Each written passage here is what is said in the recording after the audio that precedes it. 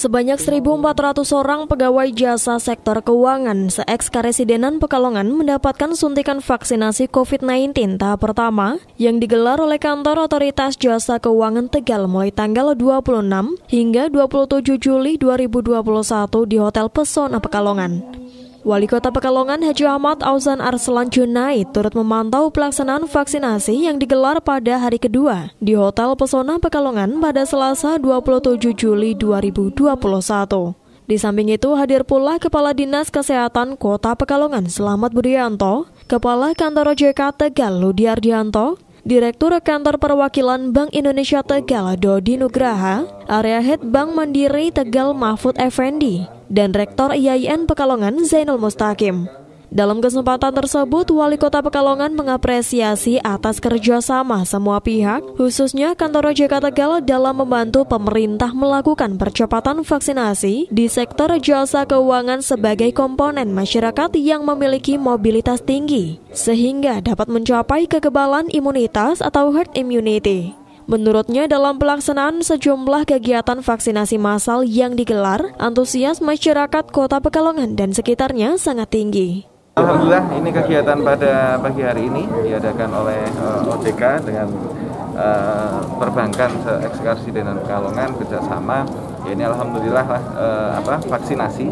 Karena kita melihat kalau untuk antusias masyarakat kalau untuk vaksinasi ini sudah sangat tinggi tetapi vaksinnya yang yang apa belum ada ya. Dropping dari uh, provinsi ini masih kurang kalau untuk kota Pekalongan. Alhamdulillah ini ada rekan-rekan kemarin dari TNI Polri juga melakukan sekarang dari OJK juga melakukan. Ya ini alhamdulillah terbukti uh, targetnya sampai jam 1 tetapi jam 11 ini sudah tutup pendaftaran karena sudah penuh.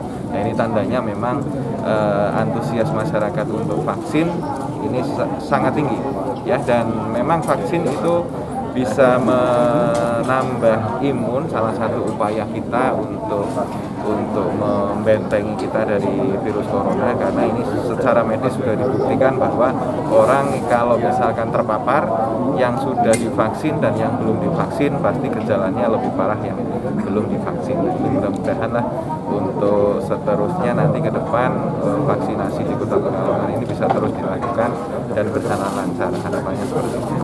Sementara itu, Kepala Kantor OJK Tegal Ludi Ardianto menjelaskan, kantor OJK Tegal mendapatkan alokasi dosis vaksin sekitar 6.000, di mana untuk tahap pertama mendapatkan sekitar 3.000 untuk pelaksanaan kegiatan vaksinasi di Kota Tegal pada Rabu hingga Sabtu minggu kemarin. Sementara itu, mulai kemarin dan hari ini, 26 hingga 27 Juli 2021, yang dilakukan di Kota Pekalongan terselenggara di Hotel Pesona dan Kampus IAIN dengan total sasaran seluruh vaksin yang didistribusikan sebanyak 1.400 dosis vaksin. Sasaran sesuai dengan arahan pimpinan, jadi yang pertama untuk pegawai industri jasa keuangan, keluarga, dan nasabah.